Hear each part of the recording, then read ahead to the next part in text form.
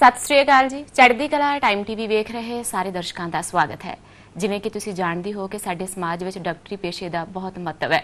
Doctor ਇੱਕ ਮਰੀਜ਼ ਦੇ ਲਈ ਭਗਵਾਨ ਦਾ ਰੂਪ ਹੁੰਦੇ ਨੇ। ਇਹਨਾਂ ਮਹਾਮਾਰੀ ਦੇ ਦਿਨਾਂ ਵਿੱਚ ਹਰ ਇੱਕ ਮਨੁੱਖ ਨੂੰ ਡਾਕਟਰ ਦੀ ਮਹੱਤਤਾ ਦਾ ਅਹਿਸਾਸ ਹੋਇਆ ਹੈ ਪਰ ਕੁਝ ਲੋਕ ਅਜੇ ਵੀ ਡਾਕਟਰਾਂ ਤੇ ਪੱਥਰਬਾਜ਼ੀ ਕਰਦੇ ਨੇ। ਇਹੋ ਜਿਹੀਆਂ ਖਬਰਾਂ ਆਉਂਦੀਆਂ ਨੇ। ਪਰ ਲੋੜ ਹੈ ਸਾਨੂੰ ਡਾਕਟਰਾਂ ਦਾ ਵੱਧ ਤੋਂ ਵੱਧ ਸਤਿਕਾਰ ਕਰਨ ਦੀ। ਸੱਚਮੁੱਚ ਹੀ ਡਾਕਟਰ ਕਿਸ ਪ੍ਰਕਾਰ ਇੱਕ ਮਰੀਜ਼ ਨੂੰ ਤੰਦਰੁਸਤੀ ਦੀ ਦਾਤ ਦਿੰਦੇ ਨੇ, ਇਸ ਪਿੱਛੇ ਉਸ ਦਾ ਤਜਰਬਾ ਕੰਮ ਕਰਦਾ ਹੈ, ਉਸ ਦੀ ਪੜ੍ਹਾਈ ਕੰਮ ਕਰਦੀ ਹੈ ਤੇ ਡਾਕਟਰ ਬਣਦੇ ਕਿੱਦਾਂ ਨੇ? ਕਿਸ ਪ੍ਰਕਾਰ ਇੱਕ ਸਟੂਡੈਂਟ ਤੋਂ ਡਾਕਟਰ ਦਾ ਰੂਪ ਬਣਨ ਦੇ ਲਈ ਕਿੰਨਾ ਸੰਘਰਸ਼ ਕਰਨਾ ਪੈਂਦਾ ਹੈ ਇੱਕ ਮਨੁੱਖ ਨੂੰ? ਉਹ ਸਾਰੇ ਸੰਘਰਸ਼ ਦੇ ਪਿੱਛੇ ਵਿੱਦਿਅਕ ਅਦਾਰਿਆਂ ਦਾ ਵੀ ਬਹੁਤ ਵੱਡਾ ਰੋਲ ਹੁੰਦਾ ਹੈ। ਅੱਜ ਅਸੀਂ ਪਹੁੰਚੇ ਹੋਏ ਹਾਂ Gian Sagar medical college and hospital ਵਿੱਦਿਅਕ ਅਦਾਰੇ ਦੇ ਵਿੱਚ ਤੇ ਸਾਡੇ ਨਾਲ ਮੌਜੂਦ ਨੇ doctor Jasbir Kaur, director institutions ਇਹਨਾਂ ਨਾਲ ਅਸੀਂ ਗੱਲਬਾਤ ਕਰਦੇ ਹਾਂ। ਸਭ ਤੋਂ ਪਹਿਲਾਂ ਉਹਨਾਂ ਦਾ ਸਵਾਗਤ ਕਰ ਲੈਂਦੇ ਹਾਂ ਪ੍ਰੋਗਰਾਮ ਵਿੱਚ ਸਾਡੇ ਨਾਲ ਜੁੜਨ ਦੇ ਲਈ। ਸਵਾਗਤ ਹੈ ਜੀ ਆਪ ਜੀ ਦਾ। ਸਤਿ ਸ਼੍ਰੀ ਅਕਾਲ ਜੀ। ਮੈਡਮ ਸਭ ਤੋਂ ਪਹਿਲਾਂ ਜੇ ਅਸੀਂ ਗੱਲ ਕਰੀਏ ਗਿਆਨ ਸਾਗਰ ਇੰਸਟੀਚਿਊਟ ਦੀ ਗੱਲ ਕਰ ਲਈਏ ਤਾਂ ਜਿਵੇਂ ਕਿ ਬੀਤੇ ਕੁਝ ਸਮੇਂ ਦੌਰਾਨ ਇਹ ਜਿਹੜਾ ਵਾ ਇੰਸਟੀਚਿਊਟ ਇਹ ਬੰਦ ਹੋ ਗਿਆ ਸੀ ਪਰ ਹੁਣ ਇਸ ਨੂੰ ਦੁਬਾਰਾ ਜਿਹੜਾ ਹੈ ਸ਼ੁਰੂ ਕੀਤਾ ਗਿਆ ਹੈ ਇਹ ਬੰਦ ਕਿਉਂ ਹੋਇਆ ਸੀ ਤੇ ਦੁਬਾਰਾ ਕਿਸ ਵੱਲੋਂ ਸ਼ੁਰੂ ਕੀਤਾ ਗਿਆ? ਸਭ ਤੋਂ ਪਹਿਲਾਂ ਤੁਸੀਂ ਇਹ ਜਾਣਕਾਰੀ ਜ਼ਰੂਰ ਦਿਓ ਜੀ। ਇਹ ਬੰਦ ਹੋਣ ਦੇ ਕਾਰਨ ਤਾਂ ਜੀ ਪਹਿਲਾਂ ਹੋਰ ਮੈਨੇਜਮੈਂਟ ਸੀਗੀ ਉਹਨਾਂ ਦੇ ਕੁਝ ਫਾਈਨੈਂਸ਼ੀਅਲ ਪ੍ਰੋਬਲਮ ਸੀਗੀਆਂ। ਜੀ। ਤੇ ਕੁਝ ਐਡਮਿਨਿਸਟ੍ਰੇਟਿਵ ਪ੍ਰੋਬਲਮ ਸੀਗੀਆਂ ਉਸ ਕਰਕੇ ਬੰਦ ਹੋ ਗਿਆ ਸੀ। ਜੀ। ਤੇ ਹੁਣ ਅਸੀਂ ਦੁਬਾਰਾ ਇਹ ਨਵੀਂ ਮੈਨੇਜਮੈਂਟ ਨੇ ਇਸ ਨੂੰ ਦਿੱਤਾ ਹੈ ਜਿਸ ਜਿਹਦਾ ਨਾਮ ਹੈ ਜੀਐਸਬੀ ਗਰੁੱਪ ਜੀ। ਤੇ ਉਹਨਾਂ ਨੇ 2018 ਚ ਇਸ ਨੂੰ ਟੇਕ ਓਵਰ ਕੀਤਾ ਤੇ। ਨਾਲ ਅਸੀਂ ਇਹਨਾਂ ਦੇ ਨਾਲ ਆਏ ਹੈਗੇ ਐਸ ਮੈਨੇਜਮੈਂਟ ਜੀ। ਕਿਸੇ ਕੰਮ ਨੂੰ ਸ਼ੁਰੂ ਕਰਨ ਲੱਗਿਆ ਉਹਨਾਂ ਜ਼ੋਰ ਨਹੀਂ ਲੱਗਦਾ ਜਿੰਨਾ ਕਿਸੇ ਬੰਦ ਪਏ ਇੰਸਟੀਚਿਊਸ਼ਨ ਨੂੰ ਸ਼ੁਰੂ ਕਰਨ ਲੱਗਿਆ ਜ਼ੋਰ ਲੱਗਦਾ ਬਿਲਕੁਲ। ਠੀਕ ਕਿਹਾ ਜੀ। ਸਾਨੂੰ ਬਹੁਤ ਜ਼ਿਆਦਾ ਔਕੜਾਂ ਸਾਡੇ ਅੱਗੇ ਪੇਸ਼ ਆਈਆਂ। ਜੀ। ਸਾਡੇ ਜਦੋਂ ਅਸੀਂ ਇਹ ਬਿਲਡਿੰਗ ਤੇ ਆਏ ਤਾਂ ਇਹ ਕਾਫੀ ਹੱਦ ਤੱਕ ਸੇ ਆਈ ਵਿਲ ਸੇ 90% ਤੱਕ ਇਸ ਦਾ ਡੈਮੇਜ ਹੋ ਚੁੱਕਿਆ ਸੀਗਾ ਜੀ ਚੋਰੀਆਂ ਵੀ ਬਹੁਤ ਹੋਈਆਂ ਹੋਈਆਂ ਸੀ। ਸਾਰੀ ਬਿਲਡਿੰਗ ਦੇ ਸ਼ੀਸ਼ੇ ਟੁੱਟੇ ਹੋਏ ਸਾਰੇ ਦਰਵਾਜ਼ੇ ਟੁੱਟੇ ਹੋਏ ਸੀਗੇ ਜਦੋਂ ਅਸੀਂ ਅੰਦਰ ਵੜੇ ਆ ਪੂਰੀ ਖਸਤਾ ਹਾਲਤ। ਬਿਲਕੁਲ। ਪੂਰੀ ਖਸਤਾ ਹਾਲਤ ਵਿੱਚ ਸੀਗੇ ਚਾਹੇ ਅਸੀਂ ਹਸਪੀਟਲ ਨੂੰ ਲੈ ਲਈਏ ਚਾਹੇ ਅਸੀਂ ਮੈਡੀਕਲ ਕਾਲਜ ਨੂੰ ਲੈ ਲਈਏ ਜਾਂ ਸਾਡੇ ਜਿਹੜੇ ਹੋਰ ਕਾਲਜਸ ਨੇ ਉਸ ਲੈ ਹਰ ਇੱਕ ਜਗ੍ਹਾ ਹੀ ਹਾਲ ਸੀਗਾ ਜੀ ਜੀ ਤਾਂ ਫਿਰ ਤੁਸੀਂ ਕੋਈ ਜੋ ਚੋਰੀ ਤੁਸੀਂ ਕਹਿੰਦੇ ਹੋਈ ਹੋਈ ਸੀਗੀ ਤਾਂ ਕੋਈ ਐਫ ਆਈ ਆਰ ਵੀ ਤੁਸੀਂ ਹਾਂਜੀ ਦਰਜ ਕਰਵਾਈ ਉਹਦੀ ਹੋਏਗੀ ਐਫ ਆਈ ਆਰ ਕਰਵਾਈ ਹੈਗੀ ਹੈ ਜੀ। ਉਸ ਤੇ ਇਹ ਪੰਜਾਬ ਗਵਰਨਮੈਂਟ ਦੇ ਨਾਲ ਐਫ ਆਈ ਆਰ ਨੰਬਰ 0005 ਹੈ ਜੀ। ਇਹ ਅਸੀਂ 3/1/2019 ਨੂੰ ਕਰਾਈ ਸੀ ਕਿਉਂਕਿ ਅਸੀਂ 2018 ਐਂਡ ਮਈ ਚ ਆਏ ਹੈਗੇ ਤੇ ਜੂਨ ਤੋਂ ਅਸੀਂ ਆਪਣਾ ਕੰਮ ਸ਼ੁਰੂ ਕੀਤਾ। ਜੀ। ਉਸ ਵਕਤ ਇੰਨਾ ਵੀ ਔਖਾ ਸੀਗਾ ਕਿ ਅਸੀਂ ਅੰਦਰ ਵੜੀਏ ਕਿਹੜੇ ਪਾਸਿਓਂ ਇੰਨਾ ਬੁਰਾ ਹਾਲ ਸੀ। ਜੀ।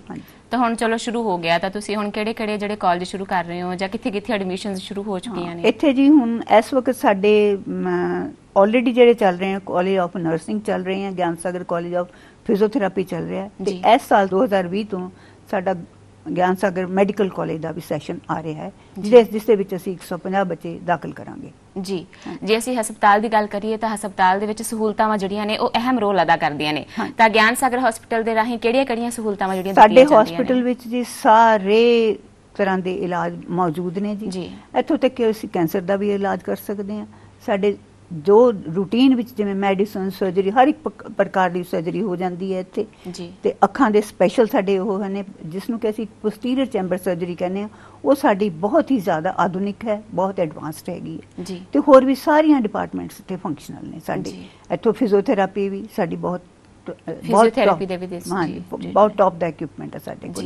ਸਾਰਾ ਸਾਡੇ ਕੋਲੇ ਜਿਵੇਂ ਇੰਟੈਂਸਿਵ ਕੇਅਰ ਹੋਏ ਜਾਂ ਹੋਏ latest machines are available with latest technology ਜੀ। ਐਂਡ 올 ਐਕਸਪਰਟਸ ਆਰ ਅਵੇਲੇਬਲ ਸਾਡੇ ਕੋਲ ਹੈਗੇ ਨੇ ਜੇ ਅਸੀਂ ਹੁਣ ਤਾਜ਼ਾ ਹਾਲਾਤਾਂ ਦੀ ਗੱਲ ਕਰ ਲਈਏ ਤਾਂ ਤੁਸੀਂ ਹੁਣ ਹੋਰ ਕੀ ਕਰ ਰਹੇ ਹੋ ਇਹਨਾਂ ਸਮਿਆਂ ਦੇ ਵਿੱਚ ਹੋਰ ਜਿਹੜਾ ਲੇਟੈਸਟ ਹੈਗਾ ਵੀ ਇਹ ਜਿਵੇਂ ਇਹ ਕੋਵਿਡ 19 ਹੈ ਜਿਹੜਾ। ਕਰੋਨਾ ਫੈਲਿਆ ਹੋਇਆ ਹੈ। ਇਸ ਦੇ ਵਾਸਤੇ ਸਾਡੇ ਹਸਪੀਟਲ ਦੀਆਂ ਸਹੂਲਤਾਂ ਦੇਖਦੇ ਹੋਏ ਪੰਜਾਬ ਸਰਕਾਰ ਨੇ ਇਸ ਹਸਪੀਟਲ ਨੂੰ ਇੰਨੀ ਅਹਿਮੀਅਤ ਦਿੱਤੀ ਕਿ ਸਾਡਾ ਇਹ ਰਜਿਸਟਰਡ ਗਵਰਨਮੈਂਟ ਕੋਵਿਡ ਸੈਂਟਰ ਬਣ ਗਿਆ। ਜੀ। ਜਿਸ ਦੇ ਵਿੱਚ ਕਿ ਅਸੀਂ 300 ਬੈੱਡ ਅਸੀਂ ਉਹਨਾਂ ਨੂੰ ਆਲਰੇਡੀ ਪੰਜਾਬ ਗਵਰਨਮੈਂਟ ਨੂੰ ਦੇ ਚੁੱਕੇ ਹਾਂ। ਜੀ। ਉਸ ਦੇ ਨਾਲ ਅਸੀਂ ਉਹਨਾਂ ਨੂੰ 10 bedded ICU facilities with ventilators ਉਹ ਦਿੱਤੇ ਨੇ। ਸਾਡੇ ਵਾਰਡ ਫੁੱਲੀ ਇਕਵਿਪਡ ਨੇ ਆਈਸੋਲੇਸ਼ਨ ਵਾਰਡਸ ਜਿਹੜੇ ਹੈਗੇ ਨੇ ਤੇ ਉਹ ਟ੍ਰੀਟਮੈਂਟ ਵਾਰਡ ਸਾਰੇ fully equipped for covid centre ਜੀ। ਤੇ- ਜੇ ਤੁਸੀਂ ਕੋਵਿਡ ਦੀ ਗੱਲ ਕਰ ਹੀ ਰਹੇ ਹੋ ਤਾਂ ਕੋਵਿਡ ਦੇ ਸਮੇਂ ਦੌਰਾਨ ਇੱਕ ਗੱਲ ਸਾਹਮਣੇ ਆਈ ਹੈ ਕਿ ਆਪਣੇ ਵੀ ਆਪਣਿਆਂ ਦਾ ਸਾਥ ਛੱਡਦੇ ਨਜ਼ਰ ਆਏ ਤਾਂ ਤੁਸੀਂ ਆਪਣੇ ਇਸ ਹਸਪੀਟਲ ਨੂੰ ਆਫਰ ਕਿਵੇਂ ਕੀਤਾ ਸਰਕਾਰ ਨੂੰ ਦੇਖੋ ਜੀ ਅਸੀਂ ਕਿਉਂਕਿ ਲੋਕਾਂ ਦੀ ਸੇਵਾ ਵਾਸਤੇ ਆਏ ਆ ਸਾਡਾ ਤਾਂ। ਮਕਸਦ ਹੀ ਇਹ ਸੀਗਾ ਤੇ ਉਸ ਜਦੋਂ ਸਾਨੂੰ ਪੰਜਾਬ ਗਵਰਨਮੈਂਟ ਨੇ ਸਾਤੋਂ ਇਹ ਪੁੱਛਿਆ ਥੋੜੇ ਸਹੂਲਤਾਂ ਹੈ। ਵੀ ਆਫਰਡ ਵੀ ਹਾਂ ਅਸੀਂ ਦੇ ਸਕਦੇ ਹੈਗੇ ਆ ਜੀ। ਉਸ ਉਹ ਅਸੀਂ ਸਾਰੀਆਂ ਸਹੂਲਤਾਂ ਦਿੱਤੀਆਂ। ਅੱਜ ਤੱਕ ਅਸੀਂ 400 ਤੋਂ ਵੱਧ ਮਰੀਜ਼ ਸਾਡੇ ਕੋਲ ਦਾਖਲ ਹੋ ਚੁੱਕੇ ਨੇ। ਇਸ ਵਕਤ ਵੀ ਸਾਡੇ ਕੋਲੇ 75 ਪੇਸ਼ੈਂਟਸ ਹੈਗੇ ਹੈ। ਜੀ ਜਿਹੜੇ ਜਿਨ੍ਹਾਂ ਦਾ ਇਲਾਜ ਚੱਲ ਰਿਹਾ। ਇਲਾਜ ਚੱਲ ਰਿਹਾ ਉਹਨਾਂ। ਵਿੱਚੋਂ ਪੰਜ ਮਰੀਜ਼ ਸਾਡੇ ਆਈਸੀਯੂ ਵਿੱਚ ਦਾਖਲ ਨੇ ਇਸ ਵਕਤ। ਜੀ। ਬਾਕੀ ਆਈਸੋਲੇਸ਼ਨ ਵਾਰਡ 'ਚ ਨੇ। ਜੀ। ਇਹ ਆਮ ਤੌਰ ਤੇ ਕੋਵਿਡ ਨੂੰ ਲੈ ਕੇ ਬੜੇ ਸਵਾਲ ਵੀ ਹੁੰਦੇ ਨੇ ਲੋਕਾਂ ਦੇ ਮਨਾਂ ਵਿੱਚ। ਜੇ ਅਸੀਂ ਉਹਨਾਂ ਦੀ ਵੀ ਗੱਲ ਕਰ ਲਈਏ ਤਾਂ ਮਰੀਜ਼ ਦਾ ਕਿਸ ਪ੍ਰਕਾਰ ਇਲਾਜ ਕੀਤਾ ਜਾਂਦਾ? ਤੁਹਾਡੇ ਕੋਲ ਮਰੀਜ਼ ਆਉਂਦੇ ਕਿਵੇਂ ਨੇ? ਫਿਰ ਉਹਨਾਂ ਨੂੰ ਕਿਹੜੀਆਂ-ਕਿਹੜੀਆਂ ਸਹੂਲਤਾਂ ਮਰੀਜ਼ ਦਿੱਤੀਆਂ ਸਾਡੇ ਜਾਂਦੀਆਂ ਕੋਲ ਨੇ? ਜੀ ਸਾਰੇ ਰੈਫਰਡ ਆਉਂਦੇ ਨੇ। ਜਿਵੇਂ ਸਾਡੇ ਕੋਲ ਤਿੰਨ ਡਿਸਟ੍ਰਿਕਟਸ ਦੇ ਮਰੀਜ਼ ਆਉਂਦੇ ਨੇ। ਜੀ। ਰੋਪੜ ਇਹ ਫਤਿਹਗੜ੍ਹ ਸਾਹਿਬ ਤੇ ਮੋਹਾਲੀ। ਜੀ। ਇਹ ਸਿਵਲ ਸਰਜਨ ਮੋਹਾਲੀ ਦੇ ਥਰੂ ਆਉਂਦੇ ਨੇ। ਸਾਰੇ ਸਾਰੇ ਮਰੀਜ਼ ਜਿਹੜੇ ਆ ਉੱਥੋਂ ਦੇ ਡਿਸਟ੍ਰਿਕਟ ਦੇ ਸਿਵਲ ਸਰਜਨ ਸਾਨੂੰ ਰੈਫਰ ਕਰਦੇ ਨੇ। ਉੱਥੋਂ ਟੈਸਟ ਹੋ ਕੇ ਜਿਹੜੇ ਪੋਜ਼ਿਟਿਵ ਮਰੀਜ਼ ਹੁੰਦੇ ਨੇ ਉਹੀ ਸਾਡੇ ਕੋਲ ਆ ਕੇ ਦਾਖਲ ਹੁੰਦੇ ਨੇ। ਉਹ ਜਦੋਂ ਆਉਂਦੇ ਨੇ ਸਾਡੇ ਬਿਲਕੁਲ ਹੀ ਟੋਟਲ ਆਈਸੋਲੇਟਿਡ ਉਹਨਾਂ ਦਾ ਰਸਤਾ ਹੈਗਾ। ਲਿਫਟ ਵੀ ਉਹਨਾਂ ਦੀ ਡੈਡੀਕੇਟਿਡ ਹੈ ਉਸ ਰਸਤੇ ਤੋਂ ਸਿੱਧੇ ਉਸ ਵਾਰਡ ਵਿੱਚ ਭੇਜੇ ਜਾਂਦੇ ਨੇ। ਜੀ। ਹਾਂਜੀ। ਉੱਥੇ ਜਿਹੜਾ ਡੈਡੀਕੇਟਿਡ ਸਟਾਫ ਹੈ ਉਹ ਬਿਲਕੁਲ ਅਲੱਗ ਜੀ। ਜੀ। ਹਾਂਜੀ। ਤੇ ਕਿਹੜੀਆਂ ਸਹੂਲਤਾਵਾਂ ਪੰਜਾਬ ਸਰਕਾਰ ਵੱਲੋਂ ਦਿੱਤੀਆਂ ਜਾਂਦੀਆਂ ਨੇ ਤੇ ਤੁਹਾਡੇ ਵੱਲੋਂ ਕਿਹੜੀਆਂ ਸਹੂਲਤਾਂ ਦਿੱਤੀਆਂ ਜਾਂਦੀਆਂ ਨੇ? ਸਾਡੇ ਵੱਲੋਂ ਸਾਰੇ ਡਾਕਟਰਸ ਸਾਰਾ। ਇਕਵਿਪਮੈਂਟ ਬੈੱਡਸ ਖਾਣਾ ਅਸੀਂ ਸਭ ਕੁਝ ਦੇ ਰਹੇ ਹਾਂ ਜੀ। ਉਹਨਾਂ। ਦਾ ਸਪੈਸ਼ਲ ਖਾਣਾ ਪੈਕਡ ਹਾਈਜੀਨਿਕ ਵੇਚ ਅਸੀਂ ਉਹਨਾਂ ਨੂੰ ਬੜੀ ਸਫ਼ਾਈ ਦੇ ਅੰਦਰ ਦਿੱਤਾ ਜਾਂਦਾ ਹੈ ਜੀ। ਹਾਂਜੀ। ਤੇ ਇਹਦਾ ਕੋਈ ਗਵਰਨਮੈਂਟ ਵੱਲੋਂ ਪੇ ਵੀ ਕੀਤਾ ਜਾਂਦਾ ਤੁਹਾਨੂੰ? ਗਵਰਨਮੈਂਟ ਵੱਲੋਂ ਕੁਝ ਸਾਨੂੰ ਅਸਿਸਟੈਂਸ ਆ ਰਹੀ ਹੈ। ਜੀ ਜੀ। ਹਾਂਜੀ। ਤੇ ਹੁਣ ਤੱਕ ਕਿੰਨੇ ਕੁ ਮਰੀਜ਼ ਠੀਕ ਹੋ ਕੇ ਇੱਥੋਂ ਜਾ ਚੁੱਕੇ ਨੇ? ਤੁਹਾਨੂੰ ਮੈਂ ਦੱਸ ਰਹੀ ਹਾਂ ਜੀ 400 ਮਰੀਜ਼ ਸਾਡੇ ਕੋਲ ਰਫਲੀ ਆ ਚੁੱਕੇ ਨੇ ਜੀ। ਜੀ। ਹਾਲੇ 75 ਸਾਡੇ ਕੋਲ ਹੈਗੇ ਆ। ਪੰਜ ਉਹਨਾਂ ਵਿੱਚੋਂ ਥੋੜੇ ਸੀਰੀਅਸ ਨੇ। ਬਾਕੀ ਸਾਰੇ ਠੀਕ ਚੱਲ ਰਹੇ ਨੇ ਸਾਡੇ। ਜੀ। ਇੱਕ ਮੈਡਮ ਜੋ ਇਹਨਾਂ ਦਿਨੇ ਖਬਰਾਂ ਆ ਰਹੀਆਂ ਨੇ ਸੋਸ਼ਲ ਮੀਡੀਆ ਤੇ ਵੀ ਕਾਫੀ ਖਬਰਾਂ ਆਈਆਂ ਗਿਆਨ ਸਾਗਰ ਹਸਪੀਟਲ ਨੂੰ ਲੈ ਕੇ ਸਦਾਰੇ ਨੂੰ ਲੈ ਕੇ ਕੁਝ ਡੈੱਡ ਬੋਡੀਜ਼ ਦੇ ਸਵਾਲ ਕੀਤੇ ਜਾ ਰਹੇ ਨੇ ਕਿ ਡੈੱਡ ਬੋਡੀਜ਼ ਡੈੱਡ ਬੋਡੀਜ਼ ਜਿਹੜੀਆਂ ਮੈਡੀਕਲ ਵਾਸਤੇ ਆਂਦੀਆਂ ਨੇ ਰਿਸਰਚ ਵਾਸਤੇ ਆਂਦੀਆਂ ਨੇ। ਉਹ ਇਸ ਤਰ੍ਹਾਂ ਹੈ ਜੀ ਇਹ ਜਿਹੜੀਆਂ ਡੈੱਡ ਬੋਡੀਜ਼ ਨੇ ਇਹ ਡੋਨੇਟ ਕੀਤੀਆਂ ਜਾਂਦੀਆਂ ਨੇ ਜੀ। ਅੰਡਰ ਡੋਨੇਸ਼ਨ ਅਸੀਂ ਇਹਨਾਂ ਨੂੰ ਜਿਹੜੇ ਫਸਟ ਇਅਰ ਦੇ ਬੱਚੇ ਆਉਂਦੇ ਆ ਇੱਕ ਸਬਜੈਕਟ ਹੁੰਦਾ ਐਨੇਟਮੀ ਐਨੇਟਮੀ ਪੜਾਉਣ ਵਾਸਤੇ ਉਹਨਾਂ ਦੀ ਪਾਰਟਸ ਨੂੰ ਡਿਫਰੈਂਟ ਪਾਰਟਸ ਨੂੰ ਡਾਇਸੈਕਟ ਕਰਨਾ ਪੈਂਦਾ ਹੈ। ਤਾਂ ਅਸੀਂ ਉਹਨਾਂ ਨੂੰ ਦੱਸਦੇ ਹਾਂ ਇਹ ਉਹ ਬੋਡੀਜ਼ ਅਸੀਂ ਲੈਂਦੇ ਹੈਗੇ ਆ ਜੀ। ਕਿਸ ਪ੍ਰਕਾਰ ਉਹਨਾਂ ਦਾ ਤੁਸੀਂ ਫਿਰ ਡਿਸਪੋਜ਼ ਆਫ ਕਿਵੇਂ ਕਰਦੇ ਹੋ ਉਹਨਾਂ ਉਹ ਨੂੰ? ਦੇਖੋ ਜੀ ਲੈਂਦੇ ਤਾਂ ਅਸੀਂ ਹੈਗੇ ਆ ਇੱਕ ਐਨੇਟਮੀ ਐਕਟ ਹੈ। ਉਸ ਐਕਟ ਦੇ ਅੰਡਰ ਅਸੀਂ ਇਹ ਬੋਡੀਜ਼ ਲੈ ਸਕਦੇ ਹੈਗੇ ਆ ਟੀਚਿੰਗ ਪਰਪਸਸ ਵਾਸਤੇ। ਉਸੇ ਐਕਟ ਦੇ ਅੰਡਰ ਅਸੀਂ ਲੈ ਰਹੇ ਹਾਂ ਪੂਰੀ ਸਾਡੇ ਕੋਲ ਪਰਮਿਸ਼ਨ ਹੈਗੀ ਹੈ। ਪਹਿਲਾਂ ਜਦੋਂ ਕਾਲਜ ਚੱਲਦਾ ਸੀ ਉਦੋਂ ਵੀ ਲੈਂਦੇ ਸੀ ਹੁਣ ਵੀ ਲਵਾਂਗੇ ਅਸੀਂ। ਤੇ ਕੁਝ ਬੋਡੀ ਸਾਡੇ ਕੋਲ ਹਾਲੇ ਵੀ ਸਟੋਰਡ ਹੈਗੀਆਂ ਨੇ। ਤੇ ਜਦੋਂ ਇਹ ਬੋਡੀਜ਼ ਦੇ ਪਾਰਟਸ ਡਾਇਸੈਕਟ ਕਰ ਲੈਂਦੇ ਆ ਬੱਚੇ ਇਹ ਐਦਾਂ ਨਹੀਂ ਕਿ ਪੂਰੀ ਬੋਡੀ ਐਦਾਂ ਹੁੰਦਾ। ਇਹ ਡਿਫਰੈਂਟ ਬੱਚਿਆਂ ਨੂੰ ਦਿੱਤੀ ਜਾਂਦੀ ਹੈ ਗਰੁੱਪਸ ਦੇ ਵਿੱਚ ਗਰੁੱਪ ਆਫ 4 ਦੇ ਵਿੱਚ। ਕੇ, ਜਿਵੇਂ। ਕਿਸੇ ਨੂੰ ਅਪਰ ਆਰਮ ਦੇਤੀ ਕਿਸੇ ਨੂੰ ਲੋਅਰ ਲੋਅਰ ਲਿੰਬ ਦੇਤੀ ਅਪਰ ਲਿੰਬ ਦੇਤੀ ਕਿਸੇ ਨੂੰ ਐਬਡੋਮਨ ਦੇਤਾ ਕਿਸੇ ਗਰੁੱਪ ਨੂੰ ਤੁਸੀਂ ਅਸੀਂ thorax brain head and neck ਇਹਦੇ ਵਿੱਚ ਹੋ ਜਾਂਦੇ ਡਿਵਾਈਡ ਹੋ ਜਾਂਦੇ। ਸੋ ਇਹ ਸਾਰੇ ਦੇ ਸਾਰੇ ਪਾਰਟਸ ਅਲੱਗ-ਅਲੱਗ ਹੋ ਜਾਂਦੇ ਹੈਗੇ ਜੀ। ਫਿਰ ਉਹ ਜਦੋਂ ਜਦੋਂ ਡਾਇਸੈਕਸ਼ਨ ਹੋ ਜਾਂਦੀ ਹੈ ਉਸ ਤੋਂ ਬਾਅਦ ਇਹਨਾਂ ਸਾਰਿਆਂ ਨੂੰ ਪਾਰਟਸ ਨੂੰ ਬਰੀ ਕਰਨਾ ਪੈਂਦਾ ਜੀ। ਇਹ ਸਾਨੂੰ ਆਰਡਰ ਹੈ। ਸਾਨੂੰ ਕਿਉਂਕਿ ਸਾਡੀ ਗਵਰਨਿੰਗ ਬਾਡੀ ਹੈ ਮੈਡੀਕਲ ਕਾਉਂਸਲ ਆਫ ਇੰਡੀਆ। ਉਹਦੇ ਉਹਦੇ ਐਕਟ ਦੇ ਅੰਡਰ ਸਾਨੂੰ ਇਹਨਾਂ ਸਾਰੇ ਪਾਰਟਸ ਨੂੰ ਡਿਸਪੋਜ਼ ਆਫ ਕਰਨ ਦਾ ਇੱਕੋ ਹੀ ਤਰੀਕਾ ਹੈ ਦੈਟ ਇਜ਼ ਬਰੀਅਲ ਜੀ ਉਹ ਬਰੀਅਲ ਗਰਾਊਂਡ ਸਾਡੇ ਵਾਸਤੇ ਜ਼ਰੂਰੀ ਹੈ ਉੱਥੇ ਅਸੀਂ ਇਹਨਾਂ ਨੂੰ ਕਰਦੇ ਹਾਂ ਜੀ ਜਦੋਂ ਹੁਣ ਪਾਰਟਸ ਹੀ ਰਹਿ ਜਾਂਦੇ ਨੇ ਬਾਡੀ ਵੀ ਨਹੀਂ ਰਹਿੰਦੀ ਤਾਂ ਫਿਰ ਤਾਂ ਬੜਾ ਔਖਾ ਹੋ ਜਾਂਦਾ ਹੁਣ ਆਇਡੈਂਟੀਫਾਈ ਵਾਸਤੇ ਕਿ ਉਹ ਜਿਹਦੀ ਬਾਡੀ ਹੈ ਕਿ ਕਿਸ। ਧਰਮ ਨਾਲ ਸੰਬੰਧਿਤ ਰੱਖਦੇ ਸੀ ਜਿਹੜੇ ਕਿ ਆਮ ਖਬਰਾਂ ਆ ਰਹੀਆਂ ਸਾਡੇ। ਕੋਲ ਅਸੀਂ ਇਹਨਾਂ। ਨੂੰ ਬੋਡੀ ਨਹੀਂ ਕਹਿੰਦੇ ਜੀ ਅਸੀਂ। ਇਹਨਾਂ ਨੂੰ ਕੈਡਾਵਰਸ ਕਹਿੰਦੇ ਆ। ਬਿਕੋਜ਼ ਇਹ ਪ੍ਰੀਜ਼ਰਵਡ ਬੋਡੀਜ਼ ਨੇ ਜਦੋਂ ਸਾਡੇ ਕੋਲ ਕੋਈ ਡੈੱਡ ਬੋਡੀ ਆਉਂਦੀ ਹੈ ਉਹਦੇ ਵਿੱਚ ਇੱਕ ਇੰਜੈਕਟਰ ਡਿਵਾਈਸ ਹੁੰਦੀ ਹੈ ਅਸੀਂ ਉਹ ਕਰਕੇ ਉਸ ਦਵਾਈ ਦੇ ਨਾਲ ਫਿਰ ਅਸੀਂ ਇਹਨੂੰ ਫਾਰਮਲਿਨ ਚੈਂਬਰ ਚ ਪਾ ਦਿੰਦੇ ਆ ਜੀ। ਤੇ ਉੱਥੇ ਫਿਰ ਜਦੋਂ ਬੋਡੀ ਪ੍ਰੀਜ਼ਰਵ ਹੋ ਜਾਂਦੀ ਉਸ ਤੋਂ ਬਾਅਦ ਇਸ ਨੂੰ ਐਲੋਕੇਟ ਕੀਤਾ ਜਾਂਦਾ ਹੈ ਡਿਫਰੈਂਟ ਗਰੁੱਪ ਆਫ ਸਟੂਡੈਂਟਸ ਨੂੰ ਪਾਰਟਸ ਨੂੰ। ਜੀ। ਠੀਕ ਹੈ ਫਿਰ ਪਾਰਟਸ ਹੁੰਦੇ ਉੱਥੇ it's not only possibility is impossible to recognise ਕਿ ਕੌਣ ਹੈ ਕਿ ਨਹੀਂ ਹੈ। ਜੀ। ਆਈ ਵੀ ਕੈਨ ਨਾਟ ਤੁਸੀਂ ਬਾਡੀਜ਼ ਦੀ ਗੱਲ ਕਰ ਹੀ ਰਹੇ ਹੋ ਜਿਹੜੇ ਬਾਡੀਜ਼ ਪਾਰਟਸ ਸਟੂਡੈਂਟਸ ਨੂੰ ਤੁਸੀਂ ਜਿਹੜੀ ਹੈ ਮੈਡੀਕਲ ਸਿੱਖਿਆ ਦੇ ਵਿੱਚ ਵਰਤਦੇ ਹੋ ਤੁਸੀਂ ਉਹਨਾਂ ਨੂੰ ਪ੍ਰੈਕਟੀਕਲ ਕਰਵਾਉਂਦੇ ਹੋ। ਤਾਂ ਜੇ ਇੱਥੇ ਆਉਣ ਦੀ ਗੱਲ ਕਰ ਲਈ ਜਦੋਂ ਤੁਸੀਂ ਇੱਥੇ ਆਏ ਤੁਸੀਂ ਆਣ ਕੇ ਇੱਥੇ ਪ੍ਰਬੰਧ ਸੰਭਾਲਿਆ ਪਹਿਲਾਂ ਤੁਸੀਂ ਕਹਿ ਰਹੇ ਹੋ ਕਿ ਚੋਰੀਆਂ ਹੋਈਆਂ ਹੋਈਆਂ ਸੀ ਸਾਰਾ ਕੁਝ ਖਿਲਰਿਆ ਹੋਇਆ ਸੀ ਤਾਂ ਬਾਡੀਜ਼ ਪਾਰਟਸ ਵੀ ਜਿਹੜੇ ਨੇ ਇੱਧਰ ਉੱਧਰ ਪਏ ਹੋਣਗੇ ਫਿਰ ਜਦੋਂ ਅਸੀਂ ਇੱਧਰ ਮੈਡੀਕਲ ਕਾਲਜ ਵਿੱਚ ਪਹਿਲਾ ਰਾਉਂਡ ਜਦੋਂ ਅਸੀਂ ਲਿੱਤਾ। ਤੇ ਐਨਾਟਮੀ ਡਿਪਾਰਟਮੈਂਟ ਤੁਹਾਨੂੰ ਦੱਸਿਆ ਨੇ ਵੀ ਸਾਰੇ ਦਰਵਾਜ਼ੇ ਖਿੜਕੀਆਂ ਟੁੱਟੇ ਪਏ ਸੀਗੇ ਜੀ। ਇਹ ਵੀ ਖੁੱਲਾ ਡਾਇਸੈਕਸ਼ਨ ਹਾਲ ਹੁੰਦਾ ਜੀ ਇੱਕ ਬਹੁਤ ਵੱਡਾ ਹਾਲ ਹੈ। ਜਿੱਥੇ ਬੱਚੇ ਵੱਡੇ ਵੱਡੇ ਟੇਬਲਸ ਲਗਾਏ ਜਾਂਦੇ ਨੇ, ਉਸ ਤੇ ਇਹ ਬੋਡੀ ਪਾਰਟਸ ਐਲੋਕੇਟ ਕੀਤੇ ਜਾਂਦੇ ਨੇ। ਅਸੀਂ ਆ ਕੇ ਦੇਖਿਆ ਜੀ ਸਾਰੇ ਉਹ ਖਿਲਰੇ ਪਏ ਨੇ ਕੁਝ not only we in the department ਬਲਕਿ ਸੜਕ ਤੇ ਬਾਹਰਲੇ ਪਾਸੇ ਵੀ ਉਹ ਪਾਰਟਸ ਪਏ ਸੀਗੇ। ਉਹਦੇ ਵੀ ਕੁੱਤੇ ਵੀ ਵਿੱਚੇ ਫਿਰ ਰਹੇ ਸੀਗੇ। ਤੋਂ ਅਸੀਂ ਉਹ ਆ ਕੇ ਸਾਨੂੰ ਬੜੀ ਇਹ ਦਰਦਨਾਕ ਹਾਲਾਤ ਲੱਗਿਆ। ਤੇ ਇਹ ਵਾਕਈ ਬਹੁਤ ਦਰਦਨਾਕ ਸੀਗਾ ਵੀ ਉਹ ਉਹ ਵੀ ਹਿਊਮਨ ਬੀਇੰਗ ਸਾਡੇ ਵਰਗੇ ਸੀਗੇ। ਤੇ ਅਸੀਂ ਫਿਰ ਉਹਨਾਂ ਨੂੰ ਪ੍ਰੋਪਰਲੀ ਇਕੱਠੇ ਕਰਕੇ ਬਲਕਿ ਮੈਂ ਤਾਂ ਖੁਦ I am a religious person ਤੇ ਮੈਂ ਅਰਦਾਸ ਕਰਕੇ ਇਹਨਾਂ ਨੂੰ ਸਾਰਿਆਂ ਨਾਲ ਆਪਣੇ ਹੋਰ ਲੜਕੇ ਨਾਲ ਲੈ ਕੇ ਉਹਨਾਂ ਦੇ ਉਹਨਾਂ ਜਿਹੜਾ ਪਿੱਛੇ ਗ੍ਰੇਵ ਯਾਰਡ ਹੈ ਜਿਹੜਾ ਮੈਂ ਤੁਹਾਨੂੰ ਪਹਿਲਾਂ ਮੈਂ ਦੱਸ ਚੁੱਕੀ। ਹਾਂ ਉੱਥੇ ਅਸੀਂ ਕਰਾਏ। ਤੇ ਉਹ ਉਹਦੇ ਵਾਸਤੇ ਸਾਨੂੰ ਸਪੈਸ਼ਲੀ ਡੂੰਘਾ ਦੱਬਣਾ ਪੈਂਦਾ ਹੈਗਾ। ਤੇ ਅਸੀਂ ਕਿਉਂਕਿ ਅਸੀਂ ਉਸ ਤੋਂ ਥੋੜੀ ਦੇਰ ਬਾਅਦ 6-7 ਮਹੀਨਿਆਂ ਬਾਅਦ ਸਾਲ ਬਾਅਦ ਅਸੀਂ ਕੱਢ ਕੇ ਬੋਨਸ ਕੱਢਦੇ ਹਾਂ ਉਸ ਦੀਆਂ ਕਿਉਂਕਿ ਜਿਹੜੇ ਸੌਫਟ ਟਿਸ਼ੂ ਆ ਉਹ ਤਾਂ ਸਾਰੇ ਉਹ ਖਤਮ ਹੋ ਜਾਂਦੇ ਆ। ਬੋਨਸ ਨੇ ਉਹ ਪ੍ਰੀਜ਼ਰਵ ਰਹਿ ਜਾਂਦੀਆਂ ਨੇ। ਉਹ ਬੋਨਸ ਨੂੰ ਅਸੀਂ ਵਾਸ਼ ਕਰਕੇ ਦੁਬਾਰਾ ਟ੍ਰੀਟ ਕਰਕੇ ਬੱਚਿਆਂ ਨੂੰ ਪੜਾਉਣ ਵਾਸਤੇ ਰੱਖਦੇ ਜੀ। ਜਿਵੇਂ ਹੁਣ ਕੁਝ ਦੋਸ਼ ਲੱਗ ਰਹੇ ਸੀ ਉਹਨਾਂ ਵਿੱਚ ਇੱਕ ਗੱਲ ਇਹ ਵੀ ਕਹੀ ਜਾ ਰਹੀ ਸੀ ਕਿ ਸੰਸਕਾਰ ਕਰਨਾ ਤਾਂ ਸੰਸਕਾਰ ਕਰਨ ਦਾ ਕੀ ਸੰਸਕਾਰ ਦਾ ਮਤਲਬ ਹੀ ਨਹੀਂ ਹੈਗਾ ਜੀ ਉਹ ਤਾਂ। ਪਾਰਟਸ ਨੇ ਤੇ ਕਿਉਂਕਿ ਜਿਹੜੀ ਸਾਡੀ ਮੈਡੀਕਲ ਕਾਉਂਸਲ ਆਫ ਇੰਡੀਆ ਉਹ ਸਾਨੂੰ ਬਰੀਅਲ ਗਰਾਊਂਡ ਕਹਿੰਦੀ ਹੈ ਜੀ ਸੰਸਕਾਰ ਨਹੀਂ ਅਸੀਂ ਕਰ ਸਕਦੇ ਕਿਸੇ ਦਾ ਅਕੋਰਡਿੰਗ ਟੂ ਲਾ ਜਿਹੜਾ ਅਕੋਰਡਿੰਗ ਟੂ ਲਾ ਅਸੀਂ। ਇਹ ਉਹਦੇ ਵਿੱਚ ਬਰੀਅਲ ਗਰਾਊਂਡ ਵਿੱਚ ਬਰੀ ਕਰਦੇ ਹਾਂ ਟੋਏ ਪਟਵਾ ਕੇ ਫਿਰ ਅੱਗੇ ਤੁਸੀਂ ਉਹ ਮੈਡੀਕਲ ਪਰਪਸ ਵਾਸਤੇ ਜੀ ਉਹ ਫਿਰ ਉਹਨਾਂ। ਦੀਆਂ ਬੋਨਸ ਅਸੀਂ ਮੈਂ ਤੁਹਾਨੂੰ ਪਹਿਲਾਂ ਅਰਜ਼। ਕਰ ਚੁੱਕੀ ਹਾਂ ਕਿ ਅਸੀਂ। ਬੋਨਸ ਪੜਾਉਣ ਵਾਸਤੇ ਫੇਰ ਕਰਦੇ ਹਾਂ ਫਿਰ ਅੱਗੇ ਜਿਹੜੇ ਸਟੂਡੈਂਟਸ ਨੂੰ ਇਹ ਜਿਹੜੇ। ਕੈਡਾਵਰਸ ਦੇ ਪਾਰਟਸ ਹੁੰਦੇ ਨੇ ਇਹ ਅਸੀਂ ਬਾਡੀਜ਼ ਨਹੀਂ ਕਹਿੰਦੇ। ਅਸੀਂ ਇਹਨਾਂ ਨੂੰ ਕੈਡਾਵਰਸ ਕਹਿੰਦੇ ਨੇ। ਕਿਉਂਕਿ ਇਹ ਟ੍ਰੀਟਡ ਨੇ ਇਹਨਾਂ। ਇੰਜੈਕਟਡ ਬਾਡੀਜ਼ ਨੇ ਜੀ ਜੀ ਹਾਂਜੀ ਡਾਕਟਰ ਜਸਵੀਰ ਕੌਰ ਜ਼ਿਕਰ ਕਰ ਰਹੇ ਸੀ ਜਿਹੜੀ ਡੈਡ ਬੋਡੀਜ਼ ਤੇ ਜਿਨ੍ਹਾਂ ਤੇ ਤੁਸੀਂ ਜਿਹੜੇ ਬੱਚਿਆਂ ਨੂੰ ਪ੍ਰੈਕਟੀਕਲ ਕਰਵਾਉਂਦੇ ਹੋ ਉਹਨਾਂ ਨੂੰ ਸਟੱਡੀ ਕਰਵਾਉਂਦੇ ਹੋ ਤਾਂ ਜਿਹੜੀਆਂ ਡੈਡ ਬੋਡੀਜ਼ ਨੇ ਇਹ ਤੁਹਾਡੇ ਕੋਲ ਪਹਿਲਾਂ ਹੀ ਇੱਥੇ ਮੌਜੂਦ ਸੀ ਜਾਂ ਹੁਣ ਡੋਨੇਟ ਹੋਈਆਂ ਨੇ ਕੋਈ ਨਵੀਆਂ ਵੀ ਆਈਆਂ ਨੇ? ਜਦੋਂ ਅਸੀਂ ਜਦੋਂ ਅਸੀਂ 18 ਤੋਂ ਦੁਬਾਰਾ ਆਏ ਹਾਂ ਉਦੋਂ ਤੋਂ ਬਾਅਦ ਅਸੀਂ ਕੋਈ ਹੋਰ ਨਵੀਂ ਬਾਡੀ ਡੋਨੇਟ ਨਹੀਂ ਕਰਾਈ ਕਿਉਂਕਿ ਸਾਡੇ ਸਟੂਡੈਂਟ ਹੀ ਕੋਈ ਨਹੀਂ ਸੀਗਾ। ਸਟੂਡੈਂਟਸ ਹਲੇ ਅਗਲੇ ਮਹੀਨੇ ਆਉਣੇ ਆ ਸਾਡੇ ਕੋਲੇ। ਹਾਂ ਇਹ ਜ਼ਰੂਰ ਹੈ ਕਿ ਸਾਡੇ ਕੋਲ ਆਲਰੇਡੀ ਪ੍ਰੀਜ਼ਰਵਡ ਬਾਡੀਜ਼ ਕੁਝ ਪਈਆਂ ਨੇ। ਜੀ। ਬਾਕੀ ਜਿਹੜੇ ਡਾਇਸੈਕਟਡ ਪਾਰਟਸ ਦੀ ਮੈਂ ਤੁਹਾਨੂੰ ਪਹਿਲਾਂ ਵੀ ਗੱਲ ਕਰ ਚੁੱਕੀ ਹੈਗੀ ਆ ਜੀ। ਕਿ ਉਹ ਅਸੀਂ ਆ ਕੇ ਖੁਦ ਡਿਸਪੋਜ਼ ਆਫ ਕਰਵਾਏ ਹੈ as per the rules of medical council of India. ਜਿਹੜਾ ਸਾਡਾ ਬਰੀਅਲ ਗਰਾਊਂਡ ਹੈ ਉਹਦੇ ਵਿੱਚ ਬੜੇ ਸਤਿਕਾਰ ਦੇ ਨਾਲ ਉਹਨਾਂ ਨੂੰ ਕੱਪੜੇ ਚ ਲਪੇਟ ਕੇ ਅਲੱਗ ਅਲੱਗ ਅਲੱਗ ਟੋਇਆਂ ਦੇ ਵਿੱਚ ਜਿੰਨੀ ਕੁ ਕੈਪੈਸਿਟੀ ਚ ਹੋ ਸਕਦੇ ਸੀ ਉਹ ਕਰਵਾਏ ਹੈਗੇ। ਜੀ ਹੁਣ ਅਸੀਂ ਜੇ ਦੋਸ਼ਾਂ ਤੇ ਆ ਜਾਈਏ ਜਿਹੜੇ ਤੁਹਾਡੇ ਤੇ ਲੱਗ ਰਹੇ ਨੇ ਇੰਸਟੀਟਿਊਸ਼ਨਸ ਤੇ ਲੱਗ ਰਹੇ ਨੇ ਕੁਝ ਲੋਕਾਂ ਵੱਲੋਂ ਕਿਹਾ ਜਾ ਰਿਹਾ ਹੈ ਕਿ ਇੱਥੇ ਜੋ ਕੁਝ ਬਾਡੀਜ਼ ਨੂੰ ਦਫਨਾਇਆ ਗਿਆ ਉਹਨਾਂ ਨੂੰ ਸੰਸਕਾਰ ਕੀਤਾ ਜਾਣਾ ਚਾਹੀਦਾ ਸੀ ਇਹੋ ਜਿਹੀਆਂ ਖਬਰਾਂ ਆ ਰਹੀਆਂ ਨੇ ਤੁਸੀਂ ਇਸ ਨੂੰ ਕਿਵੇਂ ਦੇਖਦੇ ਹੋ? ਉਹਦੇ ਵਿੱਚ ਮੈਂ ਦੱਸਾਂਗੀ ਜੀ ਇਹ ਕੁਝ ਵੈਸਟਡ ਇੰਟਰਸਟ ਨੇ ਕੁਝ ਲੋਕ ਸਾਡੇ ਨਾਲ ਪਹਿਲਾਂ ਕੰਮ ਕਰਦੇ ਸੀਗੇ। ਹੁਣ ਉਹ ਆਪੇ ਹੀ ਛੱਡ ਕੇ ਚਲੇ ਗਏ ਹੈ ਕਿਸ ਕਾਰਨ ਕਰਕੇ ਗਏ ਆ ਮੈਂ ਕੁਝ ਨਹੀਂ ਕਮੈਂਟ ਕਰ ਸਕਦੀ।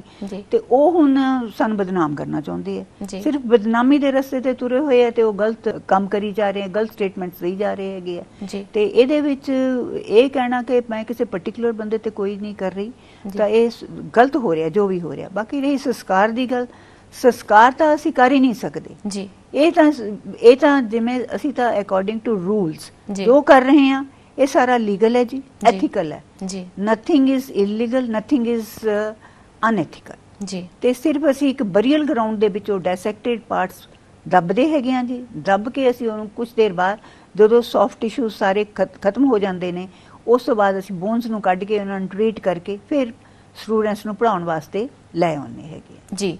ਜਿਵੇਂ ਤੁਸੀਂ ਬਰੀਅਰ ਗਰਾਊਂਡਸ ਦੀ ਗੱਲ ਕੀਤੀ ਹੈ ਤਾਂ ਉਹਨਾਂ ਦੀ ਵੀ ਕੋਈ ਸਿਕਿਉਰਿਟੀ ਹੈ ਗਰਾਊਂਡ ਦੀ ਕੋਈ ਉੱਥੋਂ ਵੀ ਬਿਲਕੁਲ ਜੀ ਚਾਰੇ ਪਾਸੇ ਤੋਂ ਕਾਰਡਨ ਆਫ ਏਰੀਆ ਹੈਗਾ ਜੀ। ਉਸ ਦਾ ਤੇ ਕਿਉਂਕਿ ਜਦੋਂ ਮੈਂ ਪਹਿਲਾਂ ਅਰਜ਼ ਕੀਤੀ ਹੈ ਸਾਡਾ ਕਾਲਜ ਜਦੋਂ ਬੰਦ ਹੋਇਆ। ਉਹ ਸਾਰਾ ਟੁੱਟਿਆ ਪਿਆ ਸੀ ਡੈਫੀਨਿਟਲੀ ਉੱਥੇ ਕੁੱਤੇ ਬਿੱਲੇ ਸਭ ਕੁਝ ਫਿਰਦੇ ਸੀਗੇ ਉਹ। ਦੁਬਾਰਾ ਤੋਂ ਆ ਕੇ ਅਸੀਂ ਉਹ ਕਰਵਾਇਆ ਉਹਦੀ ਫੈਂਸਿੰਗ ਕਰਵਾਈ ਹੈ। ਉੱਥੇ ਅਸੀਂ ਇਹ ਕੀਤਾ ਹੈਗਾ ਮੈਮ ਜਿਹੜਾ ਦੋਸ਼ ਲਾਇਆ ਜਾ ਰਿਹਾ ਹੈ ਤੁਹਾਡੇ ਜੋ ਤੁਸੀਂ ਕਹਿ ਰਹੇ ਹੋ ਕਿ ਵਿਰੋਧੀਆਂ ਵੱਲੋਂ ਜਿਹੜੇ ਤੁਹਾਡਾ ਵਿਰੋਧ ਕਰਨਾ ਚਾਹੁੰਦੇ ਨੇ ਉਹਨਾਂ ਵੱਲੋਂ ਕਿਹਾ ਜਾ ਰਿਹਾ ਹੈ ਕਿ ਉਹ ਵਿੱਚ ਇੱਕ ਸਿੱਖ ਦੀ ਬਾਡੀ ਸੀ ਕੀ ਇਦਾਂ ਪਹਿਚਾਨ ਕਰਨੀ ਸੰਭਵ ਹੈ ਜਿਹੜੀ ਤੁਹਾਡੇ ਕੋਲ ਬਾਡੀਜ਼ ਆਉਂਦੀਆਂ ਨੇ ਬਿਲਕੁਲ ਗਲਤ ਦੋਸ਼ ਹੈਗਾ ਜੀ ਕਿਉਂਕਿ ਉਹ ਬਾਡੀ ਤਾਂ ਹੈ ਹੀ ਨਹੀਂ। ਜਿਹੜਾ ਕੈਡਵਰ ਦੇ ਪਾਰਟਸ ਨੇ ਉਹ। ਔਰ ਇਹ ਮੈਂ ਕਿਵੇਂ ਕਹਿ ਸਕਦੀ ਹਾਂ ਵੀ ਇਹ ਸਿੱਖ ਦਾ ਪਾਰਟ ਹੈ ਇਹ ਬਾਹ ਕਿਸ ਦੀ ਹੈ ਇਹ ਲੱਤ ਕਿਸ ਦੀ ਹੈ ਕੁਝ ਨਹੀਂ ਕਿਹਾ ਜਾ ਸਕਦਾ। ਜੀ। ਇਹ ਤਾਂ ਇੱਕ ਡਾਇਸੈਕਟਡ ਪਾਰਟਸ ਹੁੰਦੇ ਜਿਹੜੇ ਅਸੀਂ ਬਰੀ ਕਰਦੇ ਹਾਂ।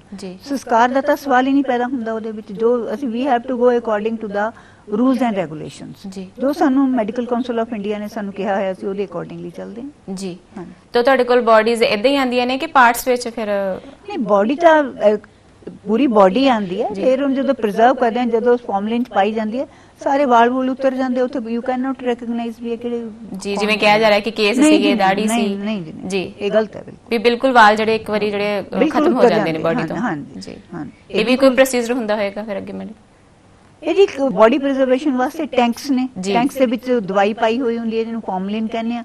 ਉਹਦੇ ਵਿੱਚ ਪੂਰੀ ਦੀ ਪੂਰੀ ਬਾਡੀ ਦੇ ਬਾਡੀ ਦੀ ਲੈਂਥ ਤੋਂ ਥੋੜੇ ਥੋੜੇ ਵੱਡੇ ਨੇ ਤਾਂ ਕਿ ਪੂਰਾ ਆਰਾਮ ਨਾਲ ਅਸੀਂ ਬਾਡੀਜ਼ ਰੱਖ। ਸਕੀਏ। ਇੱਕ ਟੈਂਕ ਵਿੱਚ ਅਸੀਂ ਤਿੰਨ ਬਾਡੀਜ਼ ਰੱਖ ਸਕਦੇ ਹਾਂ ਜੀ। ਚਾਰ ਦਾ ਵੀ ਬਣ ਜਾਂਦਾ ਹੈ ਡਿਪੈਂਡ ਸਾਡੇ ਕੋਲ ਜਿਹੜੇ ਇਹ ਹੈਗੇ ਨੇ ਤਿੰਨ ਤਿੰਨ ਬਾਡੀ ਦੇ ਡਿਫਰੈਂਟ ਕਈ ਟੈਂਕ ਨੇ ਸਾਡੇ ਕੋਲ। ਜੀ। ਹਾਂਜੀ। ਤਾਂ ਫਿਰ ਇਸ ਤਰ੍ਹਾਂ ਬੇਲੋੜੀ ਜਿਹੜੀ ਹੈ ਤੁਹਾਡੀ ਵਿਰੋਧਤਾ ਕਿਉਂ ਹੋ ਰਹੀ ਹੈ? ਇਹ ਉਹਨਾਂ ਨੂੰ ਪੁੱਛਿਆ ਜਾਵੇ ਜੀ ਕਿਉਂਕਿ ਉਹਨਾਂ ਦੇ ਆਪਣੇ ਵੈਸਟਡ ਇੰਟਰਸਟ ਨੇ ਗਿਆਨ ਸਾਗਰ ਨੂੰ ਬਦਨਾਮ ਕਰਨ ਵਾਸਤੇ। ਹੋ। ਸਕਦਾ ਹੈ ਕੋਈ ਜੈਲਸੀ ਵੀ ਹੋਵੇ ਵੀ ਗਿਆਨ ਸਾਗਰ ਫੇਰ ਉਸੇ ਉਚਾਈ ਤੇ ਪਹੁੰਚ ਚੁੱਕਿਆ ਹੈਗਾ ਕਿਉਂਕਿ ਅਸੀਂ ਮਰੀਜ਼ਾਂ ਦਾ ਇਲਾਜ ਵੀ ਬਹੁਤ ਵਧੀਆ ਕਰ ਰਹੇ। ਹਾਂ। ਤੇ ਸਾਡੇ ਤਿੰਨ ਕਾਲਜਸ ਐਟ ਅ ਟਾਈਮ ਚੱਲ ਜਾਣੇ ਆ। ਦੋ ਤਾਂ ਆਲਰੇਡੀ ਚੱਲ ਰਹੇ ਹਨ ਫਿਜ਼ੀਓਥੈਰੇਪੀ ਤੇ ਗਿਆਨ ਸਾਗਰ ਕਾਲਜ ਆਫ ਨਰਸਿੰਗ ਔਰ ਤੀਸਰਾ ਮੈਡੀਕਲ ਕਾਲਜ ਗਿਆਨ ਸਾਗਰ ਮੈਡੀਕਲ ਕਾਲਜ ਇਸ ਵਾਰੀ ਅਸੀਂ 150 ਸਟੂਡੈਂਟਸ ਦੀ ਐਡਮਿਸ਼ਨ ਕਰਨ ਲੱਗੇ ਹਾਂ। ਜੀ। ਤੇ ਹੋ ਸਕਦਾ ਹੈ ਇਹ ਹੋਵੇ। ਜੀ ਜਿਵੇਂ ਅਸੀਂ ਪਹਿਲਾਂ ਵੀ ਗੱਲ ਕੀਤੀ ਸੀ ਕਿ ਇੱਕ ਨਵਾਂ ਅਦਾਰਾ ਖੋਲਣ ਨਾਲੋਂ ਜਿਹੜੀਆਂ। ਜ਼ਿਆਦਾ ਚੁਣੌਤੀਆਂ ਜਿਹੜੀਆਂ ਨੇ ਕਿਸੇ। ਪੁਰਾਣੇ ਅਦਾਰੇ ਨੂੰ ਜਿਹੜਾ ਦੁਬਾਰਾ ਸ਼ੁਰੂ ਕਰਨ ਚਾਹੁੰਦੀ ਹੈ ਬਿਲਕੁਲ ਠੀਕ ਕਹਿ ਰਹੇ ਹੋ ਜੀ। ਸਾਨੂੰ ਤਾਂ ਬਹੁਤ ਕਠਿਨਾਈਆਂ ਦਾ ਸਾਹਮਣਾ ਪੇਸ਼ ਕਰਨਾ ਪਿਆ ਹਾਲੇ ਵੀ ਆ ਦੇਖੋ ਨਵੀਂ ਨਿਊਜ਼ ਜਿਹੜੀ ਆ ਗਈ ਹੈ। ਇਹ ਵਾਹੀਅਤ ਹੋ ਬਿਲਕੁਲ। ਜਿਹਦੇ ਨਾਲ ਲੋਕਾਂ ਦੇ ਮਨਾਂ ਵਿੱਚ ਵੀ ਸਵਾਲ ਪੈਦਾ ਹੁੰਦੇ ਨੇ। ਬਿਲਕੁਲ ਬਿਲਕੁਲ ਬਿਲਕੁਲ ਇਸ ਕੇਸ ਇਸ ਸੰਸਥਾ ਨੂੰ ਤੁਸੀਂ ਵਾਅਦਾ ਕੀਤਾ ਜਾਵੇ ਇਸ। ਸੰਸਥਾ ਨੂੰ ਤੁਸੀਂ ਸਪੋਰਟ ਕਰੋ ਇਸ ਇਲਾਕੇ ਨੂੰ ਇਸ ਸੰਸਥਾ ਦਾ ਕਿੰਨਾ ਫਾਇਦਾ ਹੈ ਇੱਥੋਂ ਦੇ ਬੱਚਿਆਂ ਨੂੰ ਕਿੰਨਿਆਂ ਨੂੰ ਕਿੰਨੇ ਲੋਕਾਂ ਨੂੰ ਰੋਜ਼ਗਾਰ ਮਿਲੀ ਹੈ ਬਿਲਕੁਲ ਜੀ ਜਦੋਂ ਕਿਸੇ ਖੇਤਰ ਵਿੱਚ ਇਹੋ ਜਿਹੇ ਅਦਾਰੇ ਖੁੱਲਣਗੇ ਤਾਂ ਉੱਥੋਂ ਦੇ। ਬੱਚੇ ਵੀ ਜ਼ਿਆਦਾ ਜਿਹੜਾ ਹਾਂ, ਹੋ ਦੇਖੋ ਜੀ ਸਕੇ- ਸਾਰੇ। ਗਰੀਬ ਮਰੀਜ਼ ਇੱਥੇ ਆਉਂਦੇ ਆ, ਸਾਡੇ ਰੇਟਸ ਦੇਖੋ ਜੀ। ਤੁਸੀਂ ਸਾਰੇ ਹੀ ਈਵਨ ਗਵਰਨਮੈਂਟ ਰੇਟਸ ਤੋਂ ਵੀ ਘੱਟ ਨੇ। ਜੀ। ਤੇ ਉਹ ਤੁਸੀਂ ਸੋਚੋ ਵੀ ਇਸ ਇਲਾਕੇ ਦੀ ਪਬਲਿਕ ਨੂੰ ਇਸ ਦਾ ਕਿੰਨਾ ਫਾਇਦਾ ਹੈ ਇਸ ਹਸਪਤਾਲ ਦਾ। ਤੇ ਇੱਥੋਂ ਦੇ ਜਿਹੜੇ ਇਹ ਗਰੀਬ ਬੱਚੇ ਹੋਣਗੇ ਜਿਹੜੇ ਨਰਸਿੰਗ ਵਿੱਚ ਆਣਗੇ ਜਾਂ ਫਿਜ਼ੀਓਥੈਰੇਪੀ ਵਿੱਚ ਆਣਗੇ ਉਹਨਾਂ ਨੂੰ ਕਿੰਨਾ ਫਾਇਦਾ?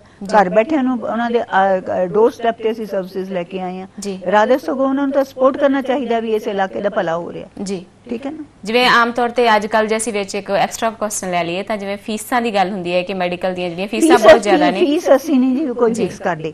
ਫੀਸ ਸਾਰੀ ਗਵਰਨਮੈਂਟ ਆਫ ਪੰਜਾਬ ਫਿਕਸ ਕਰਦੀ ਹੈ। ਸਾਡੀ ਐਡਮਿਸ਼ਨ ਵੀ ਅਸੀਂ ਨਹੀਂ ਕਰਦੇ ਉਹ ਵੀ ਅਸੀਂ ਬਾਬਾ ਫਰੀਦ ਯੂਨੀਵਰਸਿਟੀ ਦੇ ਅੰਡਰ ਕਰਦੇ ਹਾਂ। ਅਸੀਂ ਇੱਕ ਵੀ ਸਟੂਡੈਂਟ ਆਪਣੀ ਮਰਜ਼ੀ ਨਾਲ ਨਹੀਂ ਕਰ ਸਕਦੇ।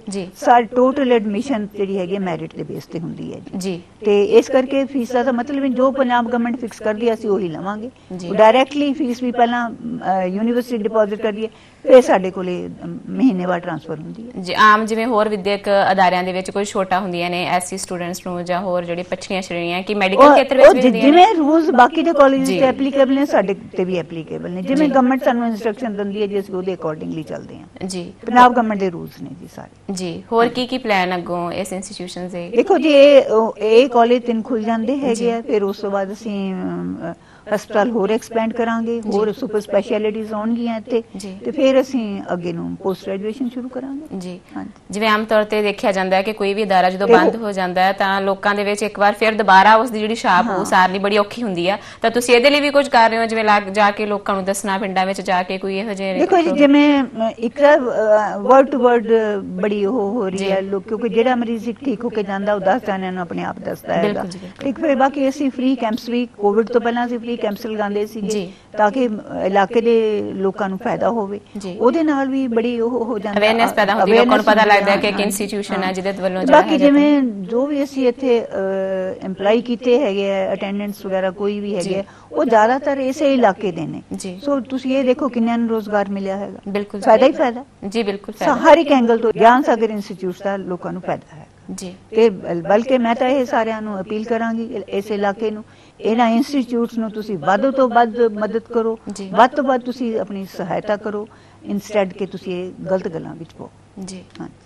ਮੈਮ ਜਦੋਂ ਤੁਹਾਨੂੰ ਜਿਹੜੀ ਬੋਡੀ ਡੋਨੇਟ ਕੀਤੀ ਜਾਂਦੀ ਹੈ ਤੁਹਾਡੇ ਕੋਲ ਬੋਡੀ ਆਂਦੀ ਹੈ ਮੈਡੀਕਲ ਵਾਸਤੇ ਇਸ ਵਿਦਿਅਕ ਅਦਾਰੇ ਵਿੱਚ ਜੋ ਵੀ ਤੁਸੀਂ ਇਹਦੇ ਅੱਗੇ ਪ੍ਰੈਕਟੀਕਲ ਕਰਵਾਉਣੇ ਨੇ ਸਟੂਡੈਂਟਸ ਨੂੰ ਇਹਦੇ ਲਈ ਬੋਡੀ ਆਂਦੀ ਹੈ ਤੁਸੀਂ ਉਸ ਦੀ ਕੀ ਪਹਿਚਾਣ ਕਰ ਸਕਦੇ ਹੋ ਫਿਰ ਉਹਦੀ ਕੋਈ? ਦੇਖੋ ਜਦੋਂ ਇੱਕ ਵਾਰੀ ਜਦੋਂ ਇਹ ਬਾਡੀ ਪ੍ਰੀਜ਼ਰਵ ਹੋ ਗਈ ਫਿਰ ਅਸੀਂ ਇਹਨਾਂ ਨੂੰ ਕੈਡਾਵਰਸ ਇਹ ਬਣ ਜਾਂਦੇ ਹੈਗੇ। ਕਿਉਂਕਿ ਉਹ ਜਿਹੜੀ ਦਵਾਈ ਹੈਗੀ ਆ ਉਹਦੇ ਵਿੱਚ ਸਾਰੇ ਵਾਲ ਬੁਲ ਸਭ ਉਤਰ ਜਾਂਦੇ ਆ ਉਹਦੇ ਵਿੱਚ ਅਸੀਂ ਕੀ ਰੈਕਗਨਾਈਜ਼ ਕਰ ਸਕਦੇ ਹਾਂ ਅਸੀਂ ਇਹ ਨਹੀਂ ਕਹਿ ਸਕਦੇ ਕਿਹੜੇ ਇਹ ਸਿੱਖ ਦੀ ਹੈ ਹਿੰਦੂ ਦੀ ਹੈ ਮੁਸਲਮਾਨ ਦੀ ਕੁਝ ਨਹੀਂ ਕਹਿ ਸਕਦੇ। ਹਾਂ ਅਸੀਂ ਇਹ ਜ਼ਰੂਰ ਦੱਸ ਸਕਦੇ ਹਾਂ ਇਹ ਮੇਲ ਹੈ ਬਾਡੀ ਕੇ ਫੀਮੇਲ ਬਾਡੀ ਹੈ।